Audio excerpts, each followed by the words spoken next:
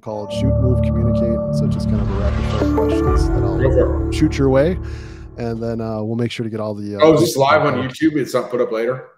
Yeah, we'll be put it up later. Yeah, so I'm not I'm not streaming at the moment, but uh, okay.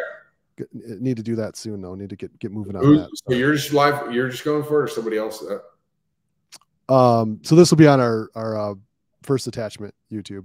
No, no, I get that. I'm saying, are you asking me the questions or people? Uh, yeah, I'm going to ask you the questions. Okay, go. Yeah, that's fine. Yep. yep. All right. So, uh, first one is uh, within your own training, what accomplishment has made you the most proud? Are you most proud of?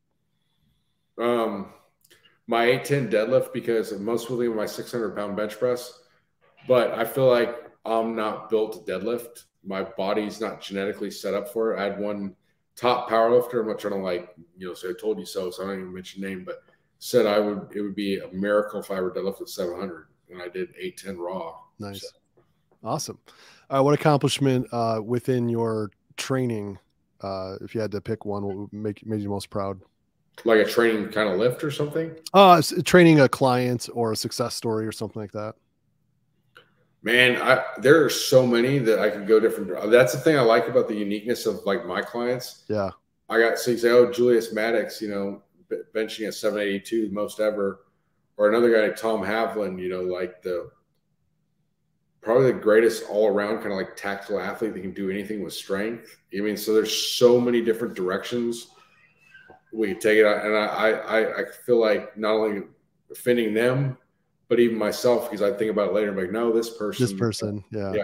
Well, if we take Julius, like what is there something that stuck out to you about that experience? Uh, that really stuck out to you that um, I would say um, it's just the whole thing of watching him him progress because I feel like um, you know it's somebody that was put on the earth for this purpose that's actually fulfilling it like you know doing what he's supposed to do and and just um, you know watching that grow and stuff. And it's it's with Julius it hasn't been like it's not like all of a sudden, you know, he came out of nowhere and like, you know, he's benching 315, and all of a sudden, like, I mean, it's been a steady progression the whole way, and, and it's hard work. You know, it, has been been like that.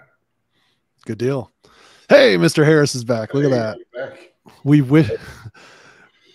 You you missed a lot of good stuff, buddy. Oh man, I know this it sucks because this is like one of the ones I really wanted to be on. I just traveled about 300 miles across the, the, the worst internet connection area of mid Michigan, BFE there is. Well, I'll wrap up my questions and we'll we'll kick it over to you so you can get it. Maybe maybe Josh will let you squeeze in a couple more. But um, all right. So one word to describe like your training philosophy, what would it be if you had to pick one word? Um, efficient one word to uh, if you had to encourage an up and coming strength athlete, what would what would one word be that you would mindset? And then uh, what's that? I guess mindset's one word, right? there you go. Yeah, that works. That works. Uh, one word to describe your ideal client. What would that be? Um, willing. All right. All right. Next question: If you had to miss one, what would it be? A meal, a night of sleep, or a training session? Meal. And then with uh, regards to your uh, educational stuff, training philosophy, your personal training, is there one parallel between everything that you've done that you feel like has led to your success? Mm, there, I think one thing gift I have, I have a good bullshit detector. There you go. There you go. Good deal. Uh, all right, last one is uh, we, you know, we like to say we're our, our kind of mantra at First Detachment is like we're all in. And so the question is you know what is that thing that you're all in on right now that you're just you know passionate about? It's either current or in the near future um, for you what excites you? Honestly it's taking my clients to the next level. So there's not like a particular booker. I've got to figure out what i'm going to do with that next but all that stuff is written off of or made off of like what's really happening. So that's like the actual base level of what you know influences any kind of product or content. Yeah. Well, thanks so much. That that's uh that's awesome. I appreciate you going through everything. And uh, like I said, we'll be able to make sure for everybody out there, uh, like, subscribe, put your put comments in the comment section if we can answer questions for you uh, for the for the audience out there, or uh, or if we can shoot Josh and Josh a note. But then uh, we'll make sure that they can find you. What what are some of the best places they can find you? I know uh, Jailhouse Strong on Instagram. Yep, Waffle House. Yeah, Waffle House. Waffle House. JoshStrength.com. JoshStrength.com. Be the best two ways. All right, good deal.